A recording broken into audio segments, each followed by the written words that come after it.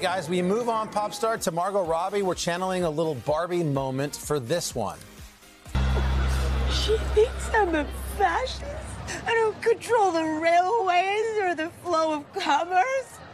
Ah, but it turns out Margot can control the railroads and commerce. That's because her next bit, big project is Monopoly. Oh, Yes. Yes, in a press release yesterday, Hasbro and Lionsgate announcing that Robbie's production company Lucky Chap is bringing the beloved board game to the big screen. It's just the latest edition of Margot's nostalgia tour. Is of course the, the success of Barbie was massive. Variety reporting also last month she's set to produce another project that's based on the video game Sims.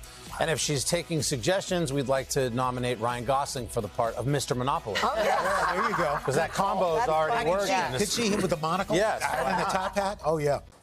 Hey, thanks for watching. Don't miss the Today Show every weekday at 11 a.m. Eastern, 8 Pacific on our streaming channel, Today All Day. To watch, head to today.com slash all day or click the link right here.